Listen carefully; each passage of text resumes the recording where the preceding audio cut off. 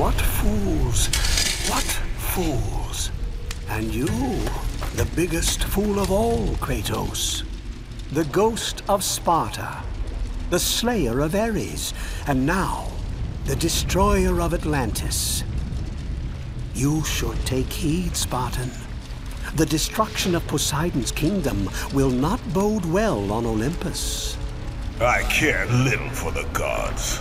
And yet you walk beside them.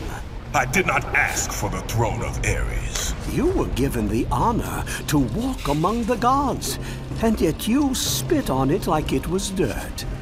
The gods can keep their honor. I wish only to find my brother. Ah, yes, the other one. Try if you must, but you will not succeed. You will never find him. And in the wake of your destruction, you have sunk the only path to your salvation. This is all that awaits you at the end of your journey. Not before I find Deimos. Be wise, my son, and turn back now.